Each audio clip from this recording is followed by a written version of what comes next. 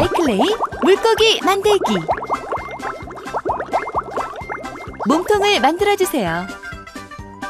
다음은 알록달록 구슬 모양의 비늘을 만들고 몸통에 붙여줍니다. 톡 튀어나온 눈과 입도 만들어 붙여주고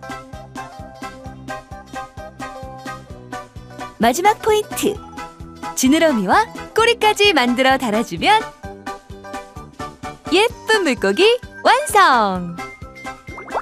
와우! 물고기가 살아 움직일 것 같죠?